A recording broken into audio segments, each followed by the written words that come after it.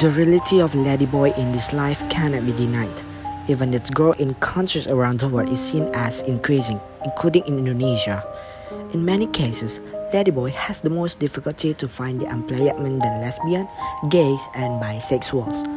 Looking at this phenomenon, we are, as the young scientists, are interested to research with the title of our research is Life Exploration of Ladyboy in Serambi Mekah.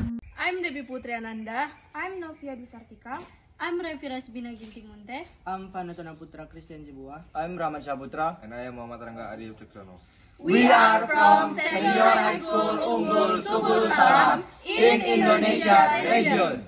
In society, ladyboy are a minority who are often under pressure, both structurally and culturally. This results in limited employment opportunities for ladyboy.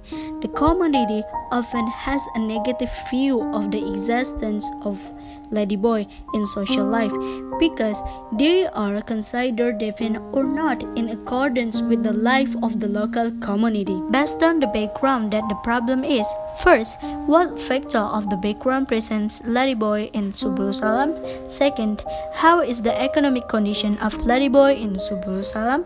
Third, what is the pattern of social interaction between Ladyboy and the society in Subulussalam? The purpose of this research are to know the background of the existence of Ladyboy in Subulussalam and to know the economic condition and social condition of Ladyboy in adapting to the society of Subulussalam so that it can be the valid source of information about the life of Ladyboy in Aceh. Research methodology. Subulussalam Aceh Province was conducted on June 1st until July 31, 2020 type of research is descriptive research with an approach qualitative with the data collection methods or observation and structure interviews, and data analysis engineering with the descriptive analytical method.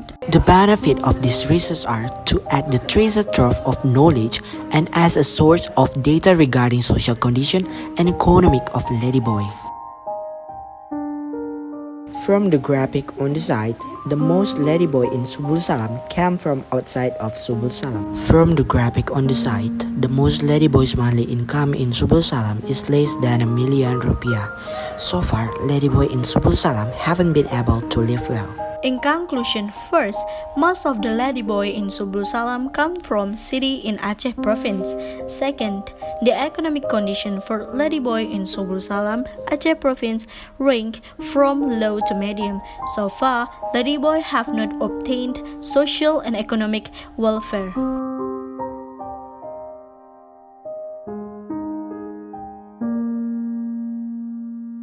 So that is our presentation.